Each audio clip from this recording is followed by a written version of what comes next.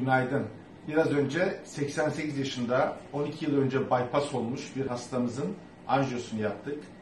Ultrasonda beyin damarlarında darlık tespit etmiştik. Bakın şurada çok ciddi şekilde daralıyor ve bu tıkandığı anda bir serebrovasküler olay yani felç geçirme riski var.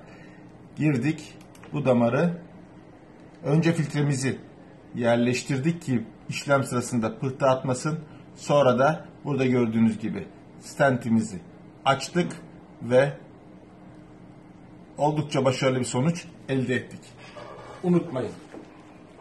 Hastalığımız damar hastalığı. İster kalpte, ister böbrekte, ister bacakta, ister beyinde olsun. Kalp hastaları, bypass geçirmiş hastalar, stent geçirmiş hastalar mutlaka beyin damarlarını, karatüs damarlarını kontrol etmesinler.